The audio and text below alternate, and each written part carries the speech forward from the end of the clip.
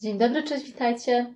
Mam na imię Kamila i uwielbiam podróżować śladami znanych osobistości. Dziś pokażę Wam Szwangał, gdzie znajduje się topowa, powszechnie znana, jedna z najsłynniejszych atrakcji Niemiec. Zamek Disneya. Zamek Ludwika II Bawarskiego. No to zaczynamy.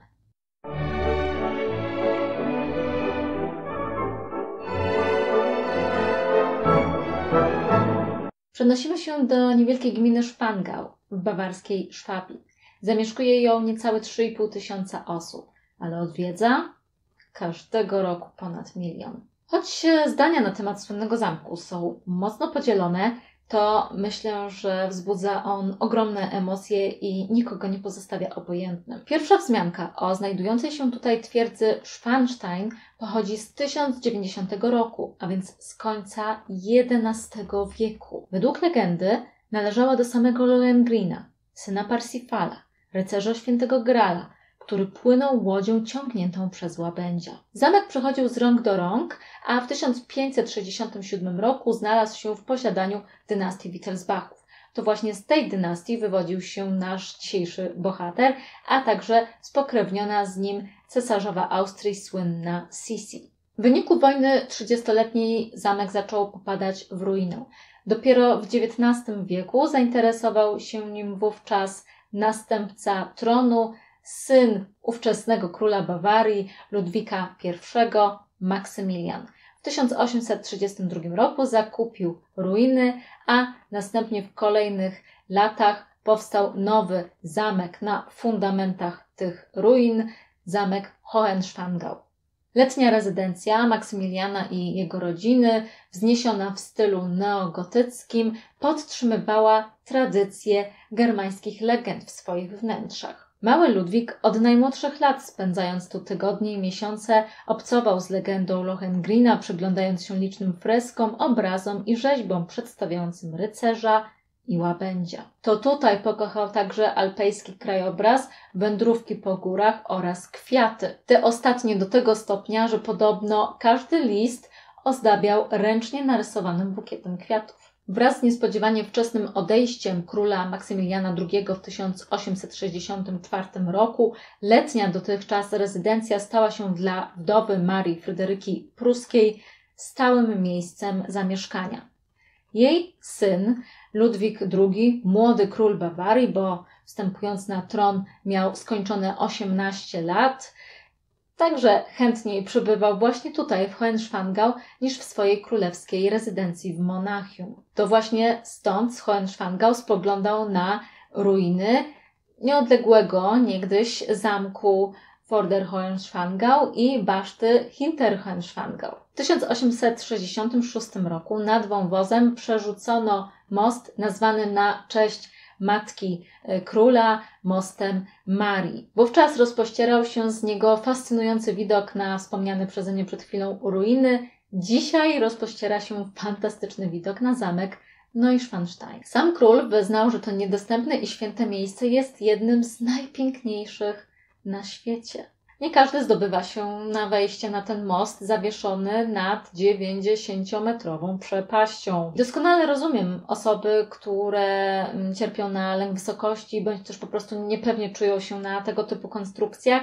Muszę przyznać, że sama odczuwałam troszkę, nieco taki lęk, no ale jednak no, ta chęć y, zobaczenia zamku właśnie z tej perspektywy no, była we mnie na tyle silna, że no te parę minut byłam w stanie na tym moście jakoś wytrzymać, więc gorąco polecam, aby spróbować tę granicę swoją y, troszeczkę przesunąć, bo naprawdę szkoda by było być tam i, no i nie móc, nie móc wejść chociaż troszeczkę na ten most, by no, mieć taki właśnie przepiękny widok na ten zamek. W roku następnym władca odwiedził zamek Wartburg w Eisenach, w miejscowości, w której prawie 200 lat wcześniej przyszedł na świat Johann Sebastian Bach. Zamek zrobił na Ludwiku ogromne wrażenie, ale przede wszystkim sala śpiewaków w tym zamku, w której to w XIII wieku odbywały się turnieje poetyckie, śpiewacze. To właśnie ta sala zainspirowała Ludwika do powtórzenia schematu, stworzenia takiej sali w swoim zamku Neuschwanstein. No i zgodnie z życzeniem Ludwika salę śpiewaków ozdobiono wizerunkami Lohengrina, Parsifala, a także miała ona mieć przeznaczenie na przedstawianie oper Ryszarda Wagnera. 5 września 1869 roku rozpoczęto budowę Neue Burg Hohenschwangau, czyli nowego zamku Hohenschwangau, no bo zamek Hohenschwangau już istniał, tak? Mieszkała tam matka króla, więc żeby rozróżnić te dwie budowle, no to to był nowy Hohenschwangau. Więc tak przez całe życie Ludwika ta właśnie nazwa funkcjonowała, nie wcale Neuschwanstein, ale o tym jeszcze będzie mowa później. Ludwik sam szkicował swoje pomysły dotyczące wyglądu zamku, a nawet i jego wnętrz. Następnie było zaangażowanych aż trzech architektów, którzy głowili się, jak te pomysły króla no, przenieść y, do rzeczywistości, tak, do realu. Y, ale żeby tego było mało, to nie tylko y, same szkice króla, ale jeszcze podrasowane przez malarza teatralnego Christiana Janka, którego zatrudnił przy tym przedsięwzięciu y, król y, Ludwik, który no już Christian taką swoją pewną, fachową, malarską ręką przefiltrował pomysły króla przez swoją głowę. Widzicie teraz, y, jaki piękny projekt tego zamku Christian Young stworzył, no a potem pozostało tylko architektom no, wcielić to w życie. Ciosany kamień na potrzeby budowy był sprowadzany z niedalekich kamieniołomów w Alterschriefen. Została zbudowana bita droga na szczyt oraz założono ujęcie wody przy źródle bijącym 200 metrów powyżej planowanej budowli. Jej majestat, kontrast ciemnego dachu z nieskazitelnie jasnymi ścianami oraz mnogość wieżyczek potęguje wrażenie, jakbyśmy jeszcze chwilę wcześniej mieli w rękach książkę dla dzieci z legendami o rycerzach. A zajrzyjcie do środka, tam się dopiero będzie działo.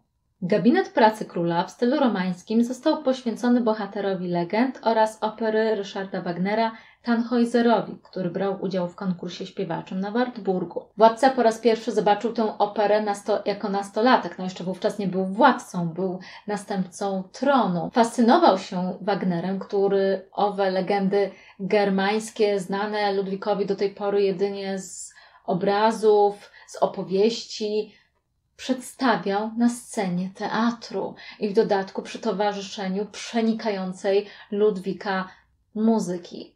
Akurat na Tannhäuserze Ludwik aż dostał drgawek. A wtedy jeszcze nie wiedział, że zaledwie kilka lat później zostanie mecenasem Wagnera i będzie finansował jego przedsięwzięcie. Nad dekoracją sypialni 14 snycerzy pracowało przez 4 lata.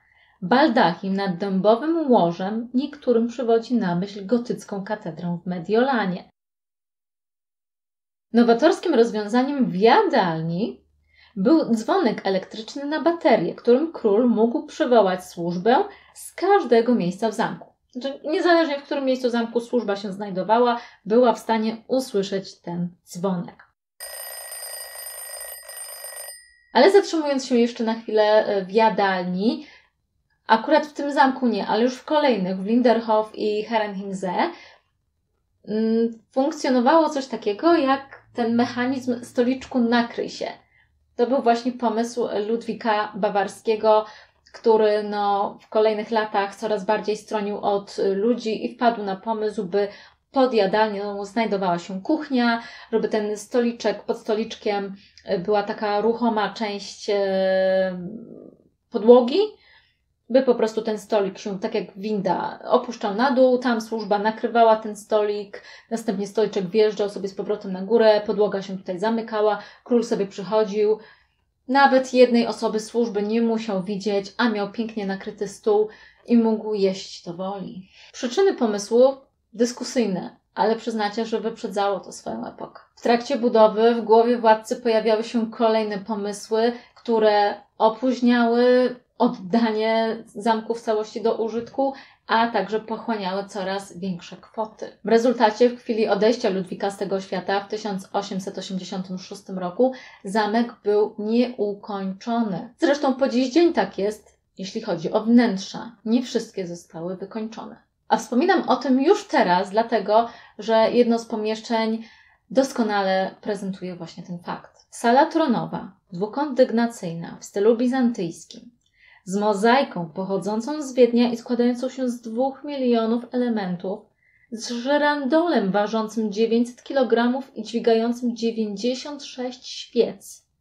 Przedstawiająca ta sala zarówno dwunastu apostołów, jak i sześciu kanonizowanych królów i ich bohaterskie dokonania nie posiada najważniejszego elementu, jaki powinien się w niej znajdować. Nie zdążono wstawić tronu. Oczywiście w tamtym czasie ta królewska fanaberia, zwłaszcza, że nie jedyna, bo w międzyczasie zaczęły powstawać kolejne zamki, budziła ogromne kontrowersje. Król po przegranej wojnie przeciw Prusom stracił suwerenność, coraz bardziej stronił od ludzi, uciekał w samotność, swoje rycerskie fantazje i budowlane wyzwania. A za tym szły ogromne pieniądze. Początkowo prywatne, z czasem i z kasy państwa, o licznych długach już nie wspominając. Ludwik II nie życzył sobie, by po jego śmierci zamek był udostępniany do zwiedzania. Nawet w niektórych źródłach wspomina się o tym, że życzył sobie, by po jego śmierci zamek został zniszczony.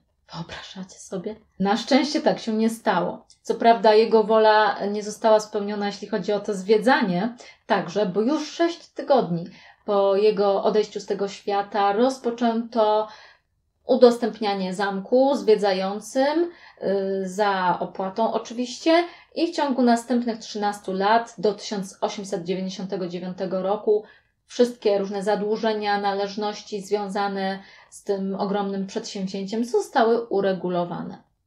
Z perspektywy naszych czasów zdecydowanie możemy powiedzieć, że to przedsięwzięcie zwróciło się wielo, naprawdę wielokrotnie. Zamek od razu cieszył się ogromną popularnością. Zdjęcia wnętrz, które mogliście niedawno zobaczyć, zostały opublikowane między 1890 a 1900 rokiem, a więc w samej końcówce jeszcze XIX wieku. W 1914 roku na warsztat wziął go pewien austriacki akwarelista, um, który nie został przyjęty na studia malarskie w Wiedniu i um, niestety poszedł w politykę.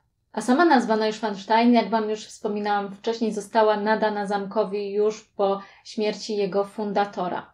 Wiem, że ta nazwa nastręcza wielu trudności wielu osobom, dlatego warto pamiętać o znaczeniu tego słowa, bo można przetłumaczyć na polski słowo Neuschwanstein jako nowy łabędzi kamień. Warto rozbroić sobie to długie słowo na poszczególne składniki bo mamy składnik w postaci słowa noj, oznaczające nowy, mamy następnie składnik szwan, słowo oznaczające łabędź i następnie stein, czyli słowo oznaczające kamień. Stąd mamy nowy łabędzi kamień. Ale jeżeli coś pokręcimy w wymowie i powie nam się na przykład Neun Schwein Stein, no to wówczas stworzy nam się kamień dziewięciu świń, Dajcie znać w komentarzach, jakie emocje w Was wzbudza ten zamek. Czy Waszym zdaniem to gigantomania, kaprys szalonego człowieka, a może przejaw niebanalnej myśli architektonicznej, czy wręcz geniuszu? Jeżeli ten film Wam się podobał, to bardzo proszę o lajka. Jeżeli też podobały Wam się inne filmy z mojego kanału, to o subskrypcję tego kanału, a także udostępnienie filmu znajomym bądź gdzieś na swoich social mediach, jeżeli uważacie, że warto. A kolejny odcinek na kanale pojawi się 13 kwietnia. Do zobaczenia.